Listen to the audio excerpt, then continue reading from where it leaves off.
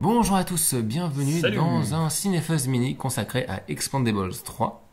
Euh, Expandables 3, mais on n'est que deux cette fois-ci, oui. puisque euh, Philippe euh, ne s'est pas remis de, de- de ce film. Le troisième Expandables n'est pas là. C'est ça, ouais, c'est, un peu, c'est un peu comme Bruce Willis, d'ailleurs il a la, la même... euh, au niveau des cheveux, ça devrait... c'est- voilà, C'est je- sympa, pour lui. il me fera des bisous en rentrant quand il verra cette vidéo.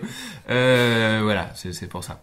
Euh, donc qu'est-ce que j'allais dire moi comme connerie euh, avec ça? Oui, donc euh, bah voilà, Expandables 3, qu'est-ce qu'on peut dire? Bah c'est le nouveau film de la franchise euh, initié par Sylvester Stallone qui réunit un peu toutes les grosses stars des années 80 et 90 Mm. maintenant parce que maintenant il y a, il y a vraiment tout le monde.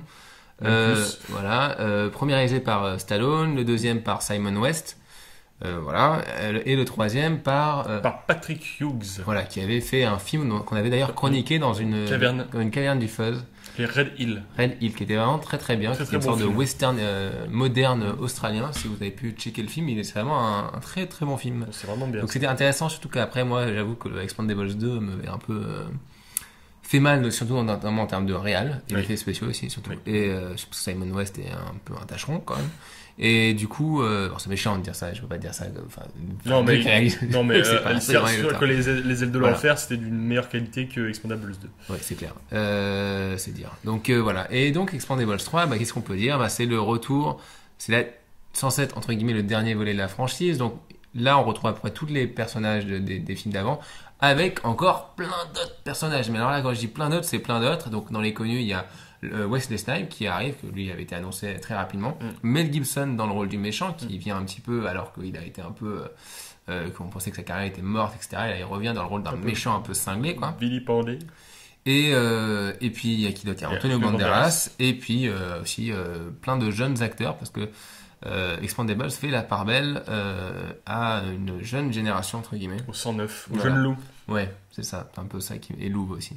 Mm. Euh, bon voilà, mais en tout cas, qu'est-ce que tu as pensé de ce film euh, tout, bêtement, sachant que le film se prend une tôle aux États-Unis en ce Mm, moment mm, mm. et a des critiques absolument euh, Oui. assassines. Oui, oui, c'est- un peu la, la, la de bois vert pour ce film, comme tu disais. Euh, ça, le film s'est fait, euh, s'est fait euh, juste scuder par Ouais. Tortue Ninja et Gardien de la Galaxie. Ouais. Et euh, bon, les critiques, bon, je sais pas, je sais pas ce qu'ils ont. hein. Assez mauvaise, je- ouais. bah, je pense qu'ils sont sur, Ouais. ils bloquent surtout sur le fait que ça a été classé PG-13. Ouais, aussi. Euh, Et il y a aussi le fait que, enfin, parce que les gens ils disent, ils parlent de ça aussi, mais c'est un film qui a été euh, mis en téléchargement dans une qualité apparemment qui était très très bonne. Le film a été Il y a piraté. un mois, quoi. Et donc euh, une qualité très bonne a un mois qui circule, ça fout déjà en l'air euh, ton film, quoi. Ouais. Euh, bah, moi, j'ai bien aimé. Mhm. J'ai passé un bon moment devant le film. C'est un film qui a bien sûr des défauts, mais je pense que la, la tollée de bois vert qui s'est pris n'est pas justifiée. Euh, je trouve ça quand même pas mal d'être revenu à quelque chose d'un petit peu plus sérieux. Euh, parce que bon, le, le- le concept du deuxième qui était de faire, une euh, parodie, qui, était, deuxième. qui était de faire limite une Ouais. parodie, euh, de prendre le concept de la Alors que le réunion. premier était. euh, C'était sérieux quoi. Euh, je trouve C'est qu'on entre les deux. Bah, disons qu'on c'est- retrouve la sensibilité de Stallone, qui est une sensibilité quand même assez. Parce que bon, il a perdu son fils, donc je pense qu'il y avait une réflexion pour lui sur le, le passage euh, Ouais, de, l'ancienne, génération à la vieille généra- à la- de, la, de la vieille génération à la jeune génération. Donc je pense que ça c'était, c'est un des points, un des thèmes Mm. du film, Euh, et je pense que c'est pas mal de, Ouais, l'exploiter. Euh, les acteurs, je trouve, sont quand même bien meilleurs que, que d'habitude. Euh, voilà, enfin, enfin, Mel Gibson, lui, est super, je trouve. Tu vois, je trouve qu'il fait vraiment un meilleur méchant Bah, que Van c'est la principale critique, par exemple, des gens, c'est qu'ils trouvent qu'il est pas assez euh, mis en avant et que euh, il passe quand même son temps à regarder des tableaux. euh, Oui, mais voilà. bon. Et ils disent c'est pas comme ça qu'on voudra un Mel Gibson encore plus fou. Quoi. Non, mais je trouve Mm. que le film, justement, était, c'était le plus soigné des trois en termes de réal. Je trouve. Mm, Juste oui. en, en réal purement euh, plan, tu vois. Mm. Mais après, c'est sûr qu'il y a toujours des, des gros, des gros problèmes de montage, euh, des trucs que des fois tu pètes un câble en termes de raccord. Et surtout, comme toujours dans cette franchise, les effets spéciaux digitaux sont horribles. Mais tu vois, c'est là où je trouve que le PG-13 et euh, je- moi aussi ça me saoule un peu qu'il soit PG-13, ne serait-ce que parce que j'aurais aimé plus d'insultes, plus de dialogues, un peu, euh, voilà. Parce que c'est encore une fois, c'est pas un film qui est censé s'adresser aux jeunes. Non. Et euh, c'est pour ça d'ailleurs que je pense qu'ils font un peu euh, que c'est qu'ils se plantent euh, quand ils s'adressent à la jeune génération comme ça dans ce film.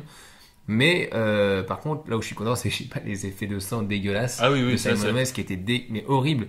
Et je préfère avoir un film où il n'y a pas de sang qu'un film où il y a du Bah, faux sang. c'est ce que j'allais dire. Moi, je préfère à la- à la Voilà, limite ne pas c'est voir, pas- euh, ne pas voir euh, trop de violence graphique, plutôt que de voir la violence graphique mais fake. Mais oui, euh, voilà, c'est ça, ça n'a aucun intérêt. Je veux dire, c'était moche. euh, Le 2, c'était une catastrophe. Déjà en avait un peu dans le premier, Ouais. mais euh, dans le 2, je trouve que Oui, c'était vraiment ridicule et Par mal contre, foutu. au niveau des dialogues et tout, c'est vrai que ça édulcore et c'est un peu con parce que t'as envie de te marrer avec eux et tu sens qu'ils Bah, peuvent pas. euh, tu vois, t'aurais envie d'un truc un peu plus La- violent la- au niveau de la. les- quand quand t'as par exemple le face à face entre Mel Gibson et Stallone. Quoi, La- se- La attitude, film, elle, est- la fuck you attitude, elle est pas là, quoi. Ouais. Et à chaque fois dans le film, je me dis, mais à mon avis, je suis sûr, je suis sûr qu'ils ont dû faire des, des prises alternatives. Ah non, non, il- la version euh, NC17 va sortir En DVD. Ah, d'accord. Elle est prévue.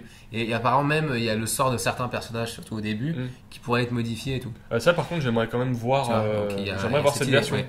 Oui. Parce que même, Oui, je trouve aussi. que le classement, c'est pas forcément logique, parce que ça a toujours été une franchise qui s'adressait à un public d'adultes, Mhm. et de même de, de personnes de- de- d'âge mûr, quoi. Et je vois pas pourquoi, d'un coup, les jeunes iraient voir le troisième, alors qu'on les a interdits d'aller voir euh, le 1 et le 2 au cinéma, tu vois.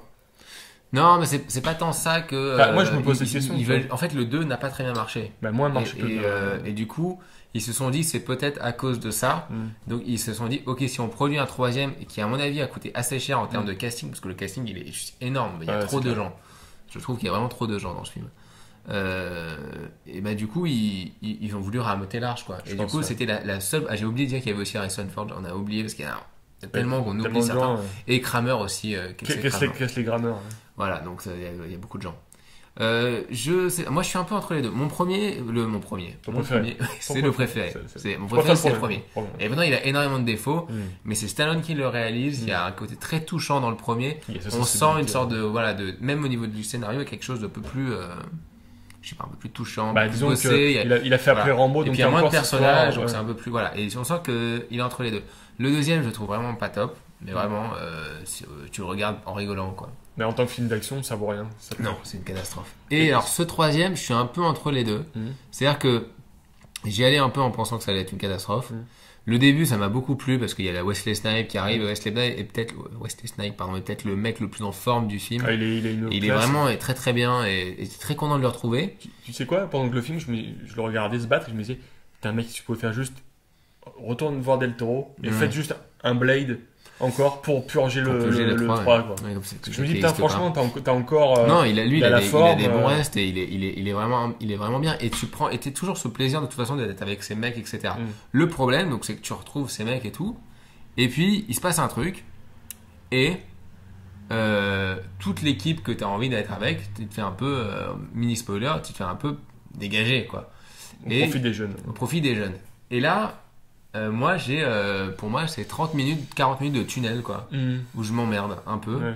Euh, et surtout, c'est même pas tant que ça me gêne qu'il va recruter d'autres personnages, même si moi je, je suis un peu ménage. Attends, toi, tu m'as vendu Expandables avec des vieux Mm. et tu vas me chercher des, enfin, tu vas chercher des jeunes. C'est débile. Mais encore, ils auraient pris des jeunes qui aient du charisme.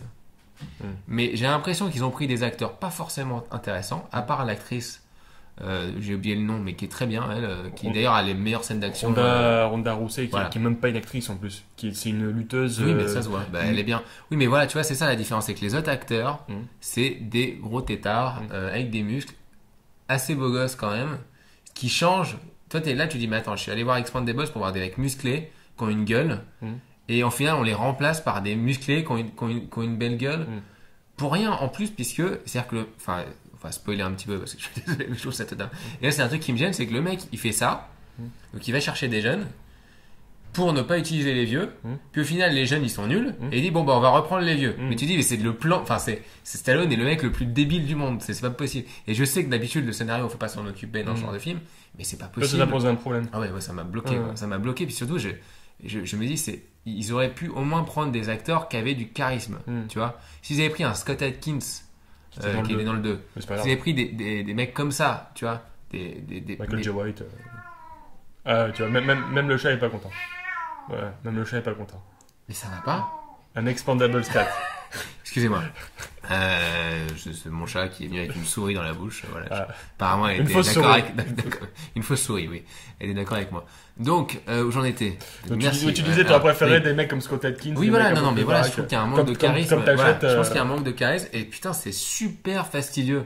C'est-à-dire que, enfin, à un moment, il va recruter les mecs. Et ben putain, ça prend un temps Hmm. de malade pour qu'il les recrute et tout. Tu fais ok. C'est euh, c'est 5 minutes.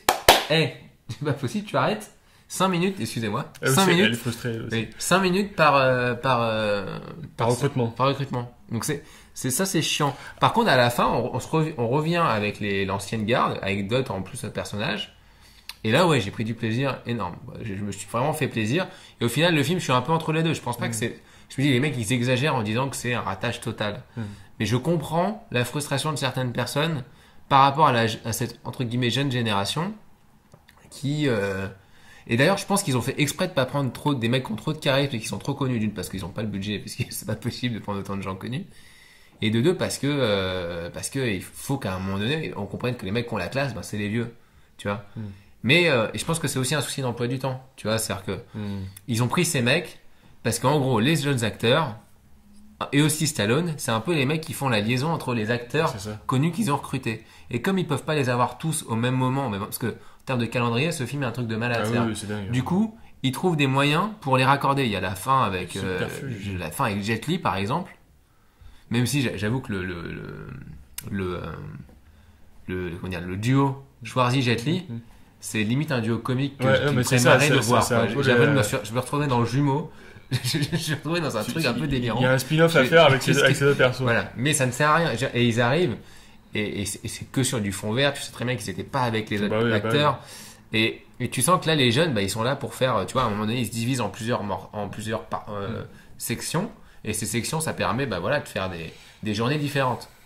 Du coup, je suis quand même assez impressionné par ce réalisateur qui arrive à tenir un film avec, avec C'est un vrai, casting aussi Ouais. bordélique et, et qui arrive à relier les trucs parce que Ça peut en pas être gros, évident. voilà, euh, vous avez peut-être euh, Stallone, ok, il va, il va avoir chaque acteur, mais sinon, c'est pas vrai de dire les acteurs, ils sont pour, pour la promotion, ils sont tous ensemble. Mm. Mais dans le film, ils sont pas tous ensemble. non, Même la scène de fin dans le bar, ils sont- pas tous ensemble. Ça se voit. Euh, tu sens qu'ils sont faits par groupe. C'est pour Voilà. ça qu'ils sont- ils se battent par groupe. toujours par groupe. Et donc Par ça, ça, ça, ça a tendance à parce que le film dure 2h06 et tu le sens passer quoi. Et moi, non, tu vois, c'est marrant. Ouais, Parce que moi, moi, je- je, je ouais. me suis dit, bon, ok. Dès que j'ai vu le film, euh, au début, je me dis, ok, ce film va avoir ce flow-là. Ça va être un Mm. flow euh, pas trop rapide, ça va être un flow un peu, euh, un peu plus lent. Je l'ai accepté. Euh, même cette histoire avec les jeunes, effectivement, on passe bien 40 minutes dessus. Je me suis dit, bon, ok, ça fait partie des enjeux du film, ça fait partie de la thématique. Donc, Ouais. ok, pas de problème. oui, non, pas mais de après, problème. en, en termes de euh, scénario, ça se tient en euh, fait. tu vois, Statham, en- il m'a surpris. Je- les scènes où il est dedans, je trouvais qu'il était vraiment bien, enfin encore plus que d'habitude, parce qu'il était vraiment énervé, euh, impliqué. il y avait une... Ah, je trouvais qu'il en faisait trop. Bah, moi, je le trouvais bien. Quand à la fin, il on est aussi fou. Ouais, moi, ouais, putain. Alors- alors, mais tu vois, c'était trop. Moi, c'est marrant parce que par- parmi l'équipe de jeunes, curieusement, même si la fille, donc Rauda Rousset, c'est peut-être elle qui a le. c'est- Ça doit être la seule du groupe qui sait faire des arts martiaux. Ouais. Voilà, trouvais ça. qu'il y, avait un problème avec elle. Parce que je me suis dit, pourquoi d'un coup, euh, dans un plan, elle va être jolie, Ouais. et le plan d'après, elle, elle va- faire une tronche que tu te dis, mais c'est pas possible. Elle, est- elle est infilmable des fois. Et je me dis, putain, Mm. elle, elle va être comme ça, et son envers va être comme ça. Mm. Et j'ai me dit, putain, mais soit souris ou soit fais une tête normale, mais ne, ne force pas sur le, sur le visage. Ouais, ça m'a gêné. Alors moi, tu vois, c'est ça. Et pareil en termes de, de réal, Mm. ben c'est quand même. Tu sens que parfois les- certains des acteurs ne font pas les cascades. Mm, ah bah oui, oui. Et, et du coup, il y a beaucoup beaucoup de plans serrés. C'est c'est un film très très haché. C'est-à-dire euh, en termes de montage, vous voyez bien Ouais, que euh, c'est très serré. Vous avez très peu de moments très amples. Tu vas pas me dire que Banderas il fait du parcours, tu vois. Ouais, dire que Wesley Snipes C'est il fait de. c'est- voilà, c'est il des trucs que tu fais, mais attends, mais les mecs. Et, et le truc, c'est que du coup, tu vois des plans, et après, des fois, quand ils se battent, tu c'est tellement. Ouais. Et, et en même temps, je pense que voilà, c'est des problèmes euh, totalement de, de Mais- planning, quoi. Mais même, mais même des fois dans mais le. en même temps, c'est ça que je voulais dire, en même temps, il y a des plans Mm. d'action vers la fin, en fait, où je me dis, putain, ça c'est bien. Mhm. Le plan avec la moto, je me dis, ça c'est bien. Ouais, ouais, ouais. Ce qui est très con, c'est quand je trouve que la- la- le face-à-face entre Gibson et Stallone à la fin, Oh, spoiler. euh, oui, non, j'ai dit que c'était spoiler. hein. Mais ça ne. C'est pas assez. C'est trop court. Bah, en Vraiment fait, euh, trop, trop court. Mais la réal est cool. Par vois, rapport, par rapport aux deux, là pour le coup, le, le- je trouve que le combat entre euh, Stallone et Van Damme était plus efficace. À ce c'est vraiment un combat, ça ça fait plaisir, il dure longtemps et Ah, t'as non. un vrai challenge. Par contre, la réal, elle est pourrie. Mm. Tu vois Là, c'est l'inverse. Et là, c'est l'inverse. La réal, elle est cool. T'as des petits décadrés, euh, même, enfin, surtout le décor, c'est dans l'eau et tout. Ouais, je me dis, ouais, mais c'est- parfait. C'est exactement ça qu'il faut au niveau du décor. Il faut que ça dure plus longtemps. Mais putain, ça dure 3 minutes, quoi. Même si j'ai beaucoup aimé quand Stallone dit je suis la haie. Ouais, Ça, ça m'a, ça m'a fait rire, j'ai éclaté. Mais sinon, voilà, et ça, c'est un peu dommage. C'est, tu, tu sens que c'est pas. euh, alors, est-ce qu'une version longue fera un peu truc? Voir. Après, c'est, moi, c'est ça le truc, c'est que moi, vers, au bout d'un moment, je me disais, mais ces mecs, je peux les voir boire un thé ensemble. Je trouve ça génial. Je trouvais ça cool, quoi. Bah oui, je, serais bah oui. content de les voir, quoi. Ça me fait marrer. Et, Et c'est agréable. Et je préfère faire ça que me taper une 500 de pour, film pourri euh, de jeunes. Mais euh, le problème, c'est qu'ils sont plus à l'écran. Et là, on a Bah. quand même un Expandables 3 avec une grosse partie où ils sont pas là. Les Young Donc, moi, je suis entre les deux. ouais. Mais c'est dommage parce que la réal est. Elle est bien, je Elle est trouve. vraiment Elle- cool. elle- elle- enfin, Je trouve plus soignée que, que les trois, même si effectivement il y a des problèmes de montage par moment. Tu vois, ça m'a, remis euh, en, en, en avant le premier Expandable en me disant, Mm. non, le premier Expandable est vraiment, est vraiment un bon film. Mhm. Alors que ce que je ne pensais pas au début. Alors, je dis pas que, mais c'est pas parfait. Mais je dis, comme quoi que Stallone est. Bah, tu reviens Enfin, sur il est à la barre. euh, voilà. tu reviens sur le- l'idée de base en fait un peu tu vois Hmm, tu dis ok y a- tu te rends compte que finalement faire dans le côté métal côté euh, enfin, le côté Non, complètement fou du 2 insupportable. tu te rends compte que bah, ça a ses limites Hmm. en fait Ouais. et qu'à un moment donné bah, il faut, faut peut-être faire un- juste un bon Hmm. film d'action avec, euh, avec des enjeux quoi Donc voilà, peut-être que l'avenir de Expandables ou de ce genre de film, parce que vu, la, vu comment il se rétame la gueule, ça sera de faire des films plus avec moins de gens. Avec, avec moins- visiblement il en a fait un 4 hein, avec des français Ouais, bah, ça- à moins que Jean Reno. bah, euh, Ça va être bien. pas, Ah ouais, moi je- j'attends le. J'attends le. J'attends, j'attends. Samy Nassiri Samy Nasseri. Ah, mais il faut faire un Ouais, Expandables F- français. Frédéric. Dedi Fental euh, Oui, ah, c'est ça. Bernard Farcy euh, En fait, l'Expandables français, c'est toute la, tous les Luc Besson qui. En fait, c'est le méta-univers des, des productions Besson. Euh, bah, en tout cas, voilà, merci, euh, merci Fabien de- d'avoir donné ton avis. Euh, nous, on se retrouve pour des prochaines émissions euh, très bientôt. On est en train de préparer une émission en réalisateur. Donc euh, voilà, d'ici peu, euh, prenez soin de vous ça sera. Voilà, prenez soin de vous et voilà, dites-nous ce que vous avez pensé du film. Salut!